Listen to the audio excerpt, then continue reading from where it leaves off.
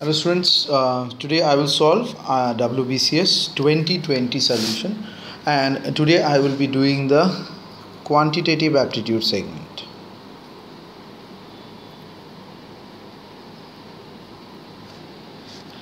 Okay, so I've made this question as 1, 2, 3, 4 renumbered from the main paper. So let's start. So D is taller than C and E. So we can say in these kind of questions D is is taller than C and D is taller than E. So separately. But there is no relationship between C and E from the first part. A is not as tall as E. So E is taller than A. Okay. So we can get an extended relation like this D E A. C is taller than A. C is taller than A. So C again is taller than A. D is not as tall as B. So B again taller than D. Okay. So B again taller than D. So then who is the second tallest person? Second tallest person. So we will put B here.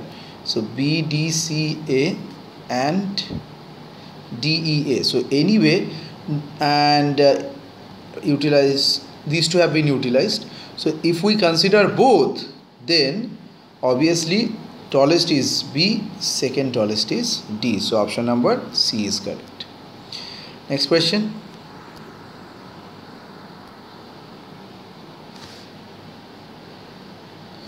In a knockout tournament, that is a tournament in which just you move, lose a match, you are out. So there are 22 participants. Then total number of matches to be played. Okay. So basic 11 matches হবে in the first part. So now in the first part 11 matches 11 participants eliminated.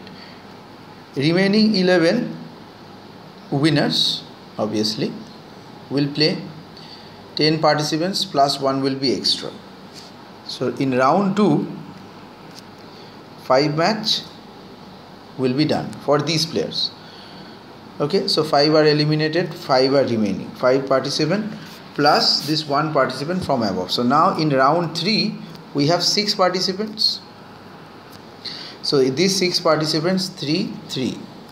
Done. In round four, we left out with three participants. Again, two matches. Here, three participants, two matches. So finally, in the first case, 11 plus 5 plus 3 plus 2. So the answer is 21, option number B next.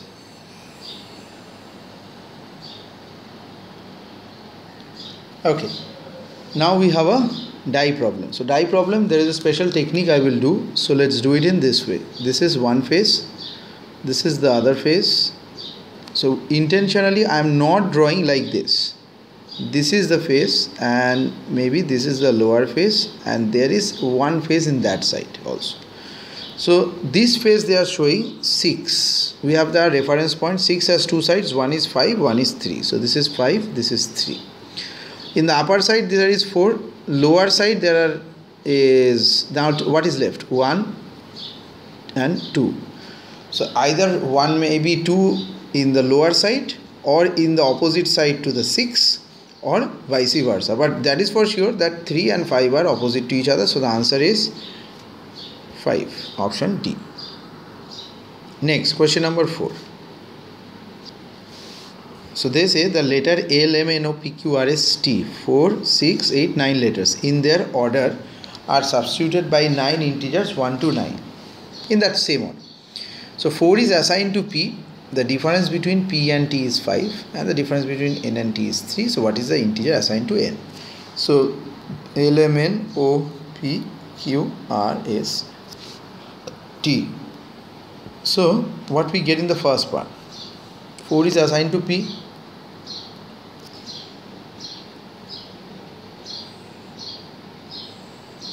The difference between n and t is uh, n and t is this. Okay.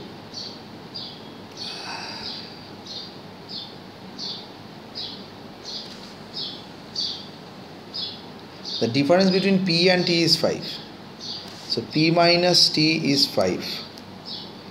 p equal to 4 so t equal to obviously 9 t is 9 n and t's difference is 3 so n will be 6 so 649 we have pointed out. Hence what is associated with n? Answer is 6 next question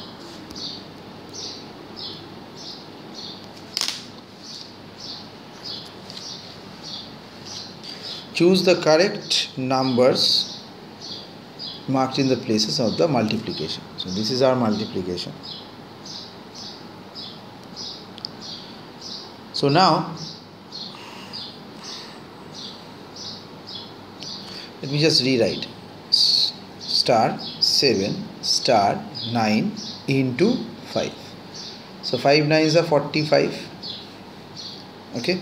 5 nines are 45 so here 4 is directly coming. So there has to be something which is providing this into this as 0 at the end. So 8 is the only number. 8 is there or 4 is also there. So 4 or 8 so I'm writing 749 also. So that is 45 so either 4 or 8 next. Now 5 sevens are 35 it should be 35 but they have given 9 so 4 is added. 5 sevens are 35 so in this case it is 9 but 4 fives are 20 so 24 5 sevens 35 this would have been 37 so this is wrong this is correct. So 8 9 so 5 sevens are 35 9 3 in hand 5 into something is so here we can take 6 5 6 are 30 plus 3 so 6 7 8 9 so the answer in the boxes will be 6 and 8 option b is correct. In the next video we will start from 6